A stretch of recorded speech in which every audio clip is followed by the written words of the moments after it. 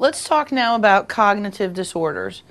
These are the disorders which are either characterized by the syndromes of delirium, dementia, and the amnestic disorders. Now, what typically causes these disorders will either be medical problems or substance abuse problems, or probably a combination of the two.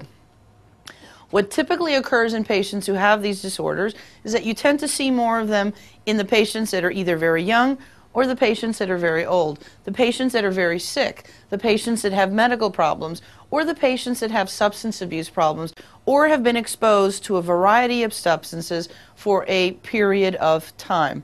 The most common presenting symptoms will be memory problems. They also have aphasias, where they do not have the ability to have language function. They also have apraxia, so they're unable to carry out specific movements. For example, if they're going to get their pants and they're going to put them on their heads. Or they can have agnosia, where they do not recognize or identify people or objects. Whatever word appears before the word agnosia is what they cannot recognize. So if you have visual agnosia and I show you this pointer, you will not know what it is. But if you put it in your hand and you touch it, you'll say to me, yes, that is a pointer.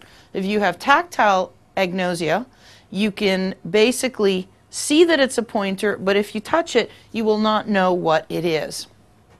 These patients also have problems with executive functioning, which tends to be the most debilitating.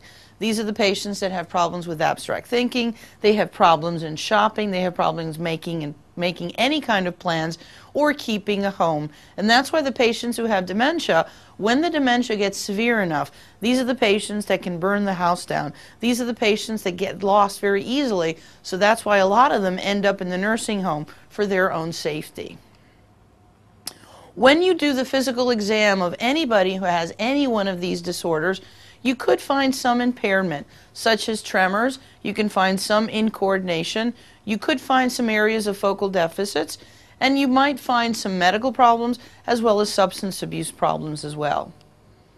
When you do the diagnostic test, the things that are done most routinely would either be EEG, neuroimaging, such as CT, MRIs, PET scans, etc., or neuropsychiatric tests as the personality tests, the uh, MMPIs, etc. But from a realistic point of view, the ones that get done most frequently will be the EEGs and the neuroimaging. And in many of these cases, these tests are really nonspecific. So you order them, you find out the results, but they really are not going to be diagnostic in many of these disorders. Now, the treatment of all of these disorders is to find out what it is that's causing it. Because if you can find what it is that's causing it, then the treatment will be relatively simple. And you also want to make sure that management is essential. Make sure that the patients are safe. Make sure that you reassure the patients. And make sure that you provide as much emotional support as possible.